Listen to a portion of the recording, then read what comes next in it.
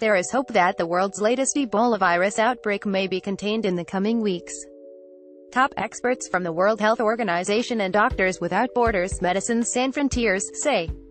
However, they told VOA this week that dangers remain as hundreds of international and local workers battle the outbreak in the Democratic Republic of the Congo.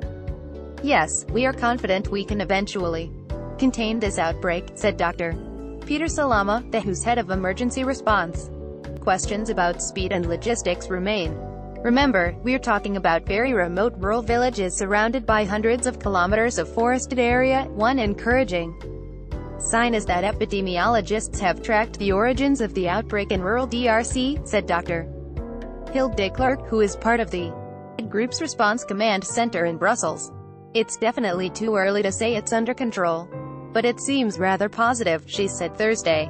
The epidemiologists have tracked what she called the transmission tree, locating the patients and their families, which gives scientists a good overview of the origins of the outbreak and how it has spread. It's a good sign that we have this vision, and it's also a good sign that our teams seem to say these people seem linked, and confined to a few families and a few villages. This outbreak raised fears that it could spread like the West Africa epidemic in 2014 to 16, which killed more than 11,000 people in Guinea, Liberia and Sierra Leone. That was the worst outbreak in the known history of the disease. Understandable pace de Klerk said it was not a surprise that the current outbreak seemed to be moving slowly. Rural outbreaks in the DRC generally are contained fairly quickly because villages are isolated and people are not likely to travel to other areas. In the West African outbreak, which started in Guinea, better roads and the willingness of people to travel to other towns allowed the virus to spread more quickly, she said.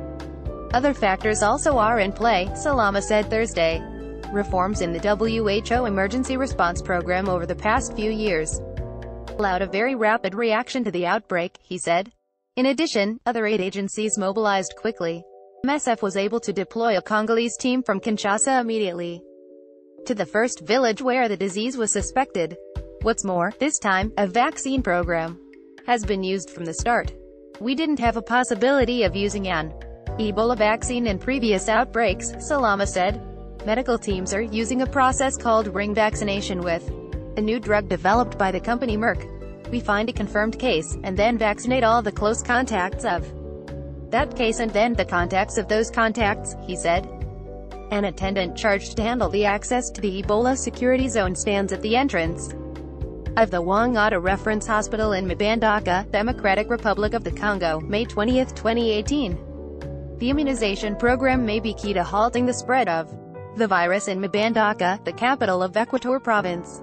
Four cases were confirmed in the city of more than 1 million people, raising fears of the wider spread, as the city sits on the Congo River, which connects to Kinshasa and Brazzaville in the Republic of Congo.